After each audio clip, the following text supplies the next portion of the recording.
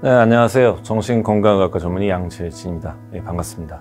사실 통계를 보면은 최근 몇 년 사이에 데이트 폭력이 굉장히 증가한 걸로 나오거든요. 일단 첫 번째는 과거에는 데이트 폭력이라는 개념을 잘 몰라서 폭력으로 인정이 안 되도 인식을 못 하던 것들이 이제는 인식이 되다 보니까 그런 신고 건수가 좀 늘어난 거 아닌가 싶고요. 결혼에 대한 인식이 많이 변하고 실제로 혼인 연령이 뒤로 밀리다 보니까 어, 그런 가정폭력에 속했던 것들이 데이트 폭력으로 나온 것들도 있다라는 의견도 있긴 한데 어찌됐건 최근 몇 년 사이에 우리 사회에서 데이트 폭력이 굉장히 증가했고 폭력성도 굉장히 심해졌기 때문에 그런 것들에 대해서 여러분과 함께 좀 얘기를 해보고 싶었습니다.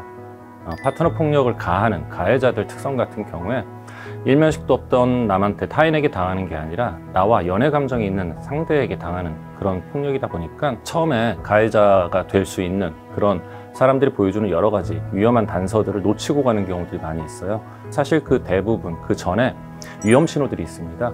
예를 들면은 뭐 우리가 사실 데이트 폭력 범주에 들어가는 게 우리는 신체적 폭력만 생각하지만 사실 그거 이외에도 언어적 폭력이나 정신적 폭력이나 뭐 경제적 폭력이나 뭐 성적 폭력이나 이런 것들이 다 들어가는데 신체적 폭력을 제외한 나머지 것들은 이미 그 전에 나타날 가능성이 꽤나 크거든요.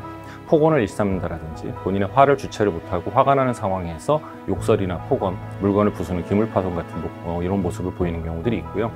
또 하나는 피해자와 피해자의 가족 혹은 친한 친구들과의 관계를 단절시키면서 철저하게 차단을 하고 이 피해자가 나에게만 의지할 수밖에 없는 그런 환경을 만드는 모습들을 보이거든요. 그래서 만약에 상대가 나에게 화가 나는 상황 속에서 폭언이나 욕설을 한다든지 기물파손을 한다든지 이런 직접 나에게 신체적 위해는 가하지 않더라도 폭력적인 모습을 보일 때, 그리고 또 하나는 어, 나의 주변 사람들과 나와의 관계를 차단하고 단절시키려는 그런 노력들이 보일 때, 그럴 때는 데이트 폭력을 좀 조심해야 될 것 같습니다.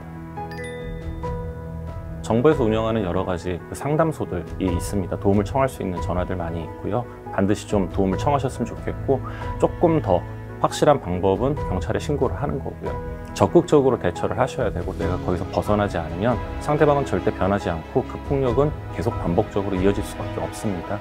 아무리 상대가 나를 어떠한 형태로 어떠한 방식으로 사랑하든 간에 물리적 폭력이라는 건 용납할 수 없는 일입니다. 제일 중요한 거는 어, 모두의 안전이 보장되는 사회고요. 두 번째는 생각의 다름을 인정하고 상대를 서로 배려하는 그런 나라가 됐으면 좋겠고요. 그리고 우리가 정의라고 믿고 있는 이런 가치가 지켜지는 그런 사회가 됐으면 좋겠습니다.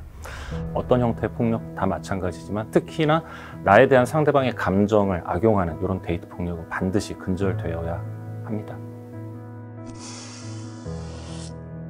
지키겠습니다. 존중과 배려가 있는 안전한 일상을 그립니다.